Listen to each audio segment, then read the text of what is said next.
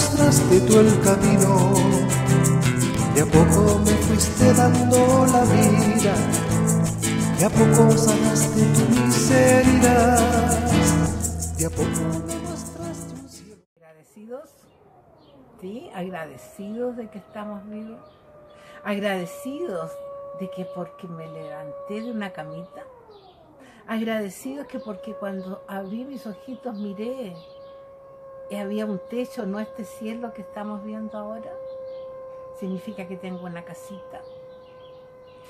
Soy agradecido porque pude caminar, tomar un vasito de agua. Soy agradecido. ¿Sí?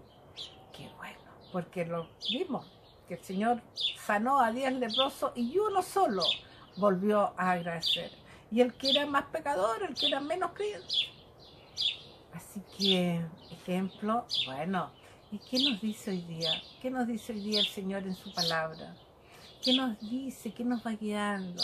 Hermano, hermano querido, hoy día que estamos ya prácticamente poquito, ya más de la mitad del primer mes del año. Si yo estaba acostumbrado cuando yo quiera saber algo, cuando yo quiera decir algo, yo me vaya al tarot, me vaya a la vidente, me vaya a las cartas. Vámonos a esta palabra de Dios, a esta palabra de Dios que hizo la vida. Aquí estoy mirando esos pajaritos que a la gente le encanta. Mira, ahí está paradito. Voy a tener una cámara móvil para verlo ahí. Está ahí escuchando, escuchando esa palabra de Dios, armándonos esa música de fondo que muchas personas les gusta poner en los programas. Aquí el Señor con su naturaleza nos pone la música de fondo, ¿no es cierto?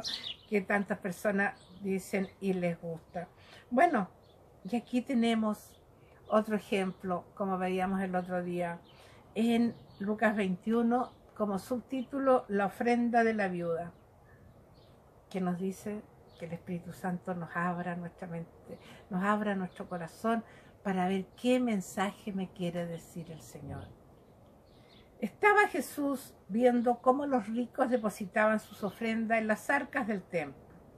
Vio también una viuda muy necesitada que echó allí dos monedas de poco valor y dijo, les aseguro que esa viuda pobre ha echado más que todos los demás porque esos han echado lo que les sobra, mientras que ella ha echado desde su pobreza todo lo que tenía para vivir. Palabra del Señor, palabra de Dios, esa palabra de luz, de vida que decimos, la palabra de amor, la ofrenda, la ayuda, la misericordia. ¿Cómo está tu ofrenda? ¿Cómo está mi ofrenda?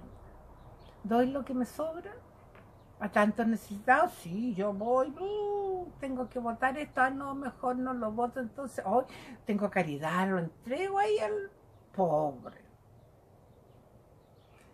Ah, hermanito, hermanito, ese amor, eso que entrego, dice, ah, decía nuestro querido Padre Santo, Padre Hurtado, tienes que dar hasta que te duela. Esa es la donación. Ahí vale la pena el donar porque te está costando dar. Ya, que, a lo mejor la ropa que tú te pones siempre, que si yo, pero tienes, dalo, eso que tú amas, que tú quieres. Eso es dar con amor. Yo, hermano, hermano querido, muy cortito, o sea, está en un domingo preparando la misa en ese tiempo de sanación con el padre Harry, ahí en María Auxiliadora.